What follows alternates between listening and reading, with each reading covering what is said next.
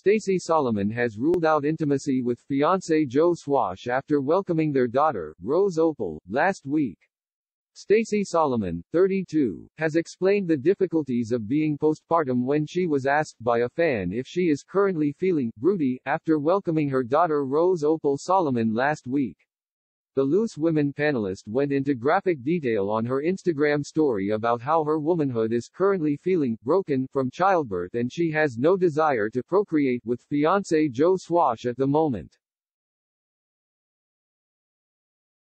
Stacey shared a photo of her lying down with baby Rose on her bed and posted a question on her Instagram story sent in by a follower that read, Be careful, she's so cute it must make you so broody. Will you have more? They say you are more fertile after you have had a baby.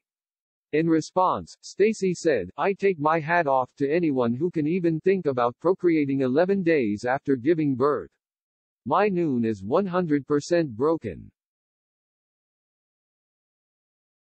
And I mean I could be wrong but I don't think anyone in the history of getting pregnant ever got pregnant while still needing adult nappies to catch the afterbirth, sick.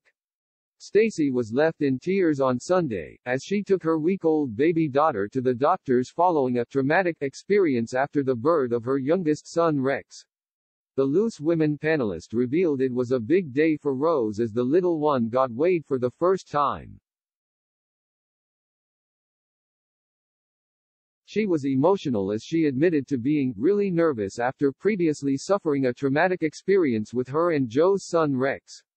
Stacey told fans when he was born he had been 14% down on his weighing day.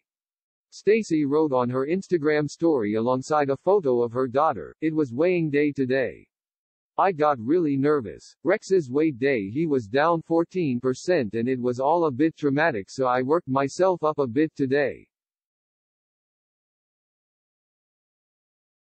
But she's okay and well within the lines, Stacey added alongside a crying face emoji.